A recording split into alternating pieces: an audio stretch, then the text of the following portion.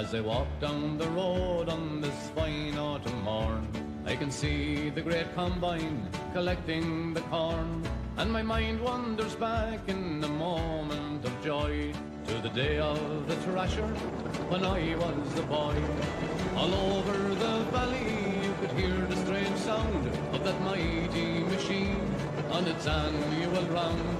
All the men in the townland would follow at will, and they'd all lend a hand with the old thrashing mill. So boil up the bacon and the cabbage that's green, have plenty of spuds, laced with butter between. For eight empty bellies will soon need a fill, for it makes a man hungry, the old thrashing mill. There were two on the thrasher and two on the and the man with the fork kept the straw flying back. There were bottles of porter and plenty of bags, and now Larry Andy looked after the bags. Then a few of the boys built the straw in the reek, while the young ones had fun playing hide and go seek. And myself and my brother with the dogs and the cats at the time of our lives chasing after the rats.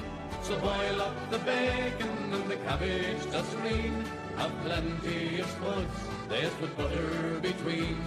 For eight empty bellies will soon need a fill, or it makes a man hungry, the old-fashioned mill.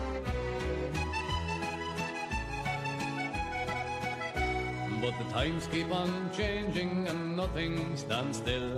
Larry Andy is gone, like his old thrashing mill. And most of the workers I knew as a child have reaped the great harvest for which they have toiled.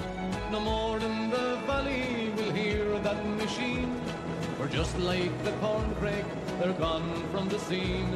But it makes me feel sad as I dream of it still. I love the dear sound of the old-fashioned mill. So boil up the bacon and the cabbage that's green. Have plenty of spuds, laced with butter between. For eight empty bellies will soon need a fill. For it makes a man hungry, the old-fashioned mill. For it makes a man hungry, the old-fashioned mill.